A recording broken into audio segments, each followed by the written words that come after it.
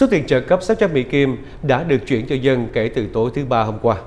Thưa quý vị, Bộ trưởng Tài chính của Hoa Kỳ, ông Steve Mnuchin, vào ngày thứ Ba đã cho viết trên Twitter rằng tiền trợ cấp trực tiếp 600 Mỹ Kim có thể được chuyển vào chương mục của người dân sớm nhất là từ tối thứ Ba.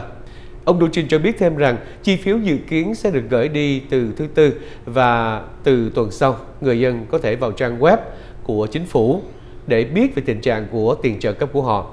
Số tiền này nằm trong kế hoạch cứu nguy kinh tế trị giá 900 tỷ Mỹ Kim được Tổng thống Donald Trump ký vào tối Chủ nhật. Cơ quan thuế vụ và Bộ Tài chính của Hoa Kỳ cho biết những người hồi đủ điều kiện nhận tiền trợ giúp đợt hai này không cần làm đơn.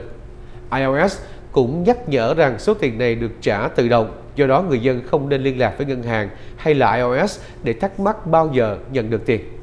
Nằm trong dự luật cứu nguy kinh tế mới được Tổng thống Trump ký thì đợt trợ giúp lần thứ nhì gửi 600 Mỹ Kim cho cá nhân, 1.200 cho vợ chồng khai thuế chung và 600 Mỹ Kim cho mỗi đứa con hồi đủ điều kiện.